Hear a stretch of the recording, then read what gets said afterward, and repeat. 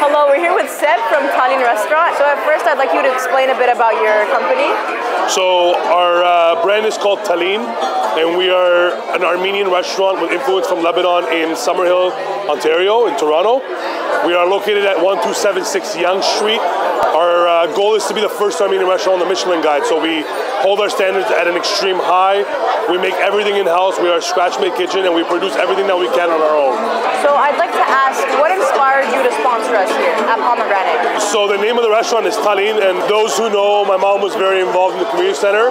So it was only it only felt right in honor of her and to memorialize her was to give back to the community in a way that we are good at, and that's why we took over and we did the activation with the bars for the POM Gala.